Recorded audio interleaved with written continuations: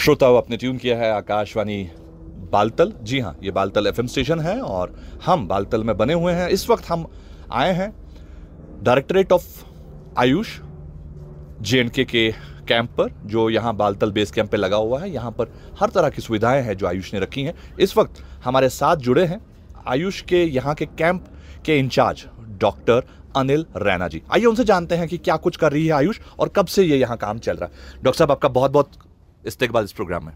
Thank you मैं doctor Anil Raina medical officer Ayush directorate of Ayush की तरफ़ से यहाँ जो बालतल बेस कैंप में ड्यूटी है सेकंड फ़ेज़ में। जी। तो यहाँ हमारे पास हर किस्म की दवाइयाँ हैं और लगभग जो श्रीनगर से यहाँ तक पाँच छः कैंप जो है उसमें दरसुमा है पंथा चौक है तुलमुला है केव है और यहाँ पर है। यहाँ तो पेशेंट बहुत ज़्यादा है तीन सौ से चार सौ के बीच लगभग डेली पेशेंट्स हैं और हमारे पास हर तरह की मेडिसिन अवेलेबल है। हमारे पास हम योगा सेशंस करते हैं और का, काढ़ा जो है हमारा सबसे जो इफ़ेक्टिव यहाँ है। शाम को डेली पाँच से छः के बीच हम काढ़ा पिलाते हैं पेशेंट्स को। डॉक्टर साहब किस तरह के बीमार ज़्यादातर आपके पास यहाँ ओपीडी में आते हैं? जैसा कि आपने कहा तीन से चार सौ के आसपास ओपीडी पर डे का है। तो किस तरह के बीमार ज़्यादा हैं जिनकी ज़्यादा कौन सी शिकायत है जो वो लेकर आते हैं? अपर रेस्पिट्रैक ज़्यादा है यूटीआई है ज़्यादा है। कॉन्स्टिपेशन ज़्यादा है सांस फूलता है लोग जैसे बोलते हैं लोग सांस फूलता है यहाँ एटमॉस्फेयर की तरफ़ से ये, हो, हो रहा है यहाँ पे। लगभग इस, इस तरह के सब पेशेंट है। रेस्पिरेटरी ज़्यादा है। अपर रेस्पिरेटरी रेस्पिरेटरी इन्फेक्शन के ज़्यादा पेशेंट्स आते हैं। जी।